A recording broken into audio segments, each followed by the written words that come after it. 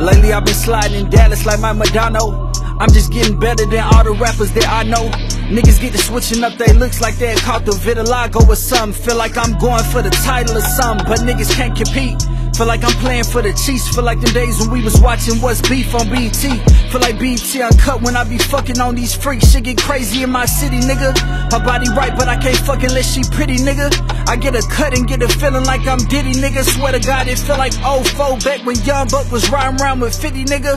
I flow like this and get the feeling like I'm Drizzy. My shorty like it when I fuck her till she dizzy. She say, boy, you gon' forget me when you out of town. Told her I'd be gone for like a weekend, maybe four days at the max, and I'ma hit you when I'm back around. Then never hit her when I'm back in Dallas. I switch it up and get the feeling like it's not a challenge.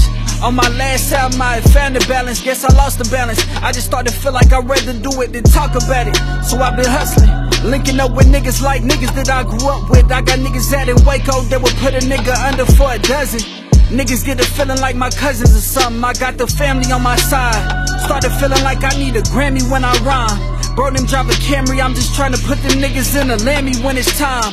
Hope you catching shit like Jarvis Landry in his prime. I can't lie to I'm a Odell. I'm light skinned, not lightweight. I know your hoe well. The Airbnbs be looking better than the hotels. Sometimes I be wondering, can you live just off Hennessy and Rotel? I be glad I always come to my senses. Always fall in love with hoes, they fall in love with attention. I can't smoke like every day and say it's not an addiction. So I've been chillin', shit been crazy though I thought I should mention. And get to go to Mississippi when my granny died and shipping on my subconscious.